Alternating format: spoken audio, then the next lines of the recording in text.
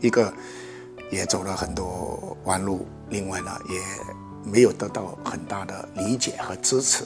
啊，因为有些尝试可能不太理想，但是有些声音就出来说我拔苗助长啊，或者是啊异想天开呀，因为总是想要走走。一些创新的路嘛，有一些大的改变，所以这个十年等于是也在摸索，也在摔打。十年的探索与尝试，没有取得十分辉煌的成绩，但这并没有使陈文斌丧失信心。他依然选择在这条举重道路上一直坚持下去。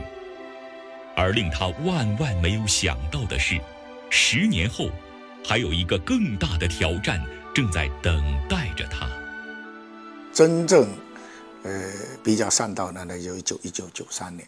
我们福建省参加全国运动会，本来预计拿一块奖牌没问题，结果啊也是鬼使神差，一个奖牌没拿到，还有一个前八名都没进，最好的名次就第九名，啊那一次对我打击非常大。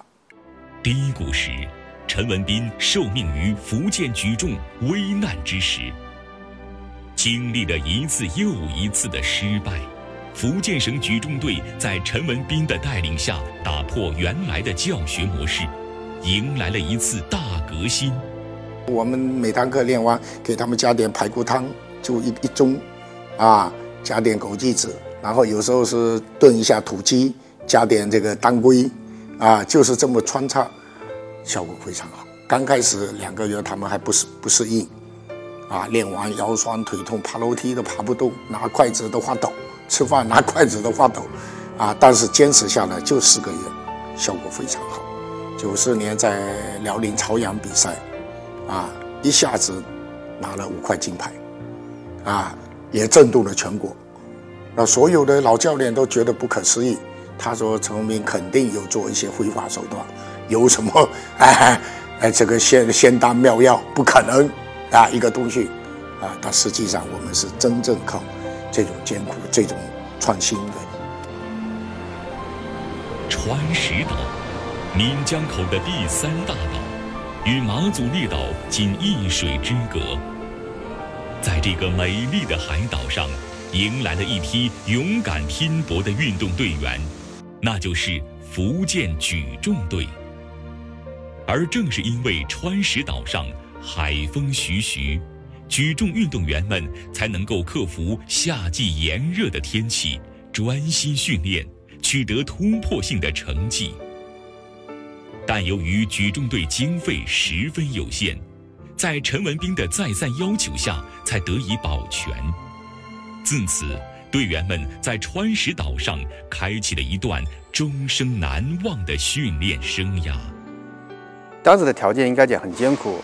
是一分钱当着两分钱来花的，在川石岛，现在想起来，我感觉是很幸福的，那种艰苦感觉是是苦中带甜的感觉，非常非常的，当时非常非常的感动。的时候，运动员每天两个人搬锄，啊，一周一轮，搬锄都做些什么呢？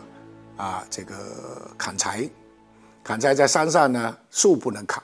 只能砍树下面的枝，周边的枝啊，还有灌木丛啊，那个草啊什么这些拿来烧。他们没有因为困难而流下眼泪，而是将泪水献给那个至高无上的领奖台。川石岛的经历让他们学会了坚韧、顽强、不抛弃、不放弃的信念。他们每个人都像一个宇宙。等待着爆发的那一刻。当运动员挺苦的，想当一名出色的、有成绩的运动员更苦。这个是我二十年的运动生涯的一个总结。他的苦不单是肉体上的苦，他还要承载着非常多的精神上的苦。